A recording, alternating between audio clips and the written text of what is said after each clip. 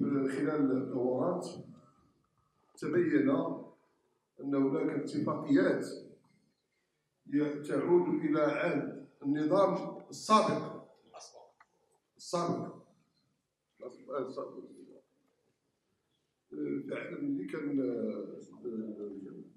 الأمير مصطفى هو الوالد ورئيس المجلس يؤشر على بمعنى أن الاتفاقيات تعود إلى سنة 2008 ولم تنجز ولم تفعل. يمكن نقولوا أنه هذه الأموال المرصوده لهذه الاتفاقية كتبقى جامدة. علاش؟ والبيضاويين والبيضاويات ما محتاجين هذا الشيء.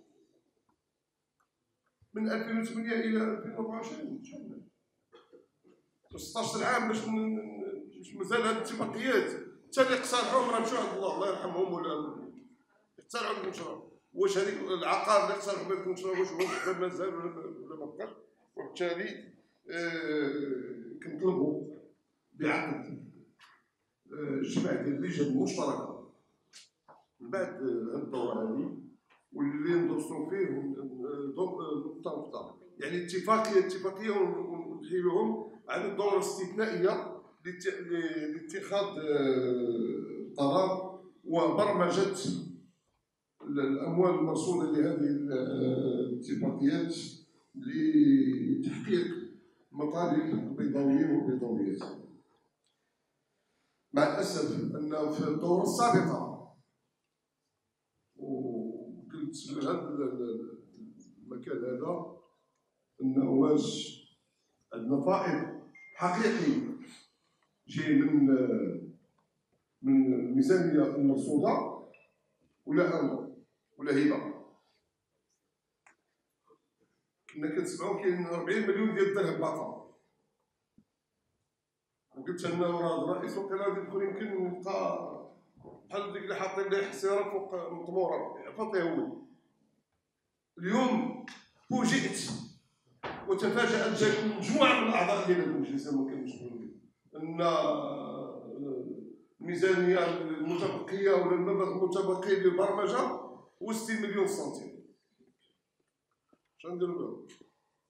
بعد قلنا 4 مليار اليوم 60 مليون هذا لابد أننا تكون عندنا تكون عندنا على الأقل معطيات حقيقية لأن بناء على معطيات حقيقية محينة يمكن لنا أننا نقدموا مشاريع.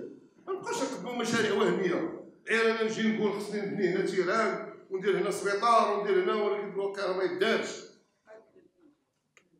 ما يمكنش يتنجز في غياب ميزانية في غياب هذا غادي يكونوا غير تنشيروا وأنا ضد التشير أنا ضد برمجة حقيقية مبنية على دراسة علمية.